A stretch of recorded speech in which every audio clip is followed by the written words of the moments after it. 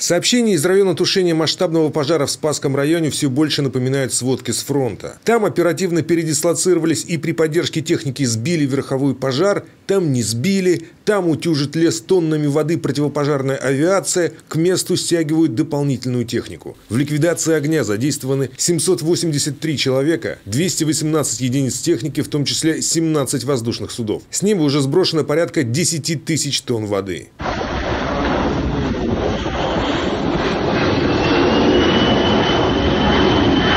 Пока что в сторону поселка Диульна, где расположен штаб МЧС, огонь не добрался. Тем не менее, угроза все еще велика. За выходные огонь прошел еще около трех гектаров. Кадры облета территории выложил у себя в телеграм-канале министр природных ресурсов России Александр Козлов. В данный момент летчики-наблюдатели авиалесоохраны координируют сбросы воды в строго определенные точки. Идут так называемые снайперские сливы воды. На том участке кромки, где работают люди, да, бывает э, большая интенсивность горения, и наземные службы просто не, не могут подойти непосредственно к кромке и оказывать тушение.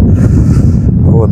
Мы когда точечно попадаем на эти участки, сбиваем интенсивность, подтушиваем э, или смачиваем полосу, и кромка дальше не распространяется, наземные службы, уже десантники пожарные, парашютисты пожарные подступают и дотушивают эту кромку. Пожар тушат круглосуточно. Все службы в Спасском, Рязанском и Клепиковском районах работают в режиме «чрезвычайная ситуация». Ветер пока не ослабевает, порывы до 12 метров в секунду. В регионе продолжает действовать особый противопожарный режим, исключающий посещение лесов. А доступ граждан в населенные пункты, вблизи которых происходит тушение лесных пожаров, и вовсе запрещен. Как показывает мониторинг обстановки, в результате облетов, проведения разведки, ситуация продолжает оставаться сложной. В связи с этим продолжает увеличиваться группировка, задействованная для тушения пожаров э, в районе и данного населенного пункта, и вообще на всей территории районов, где действуют природные пожары.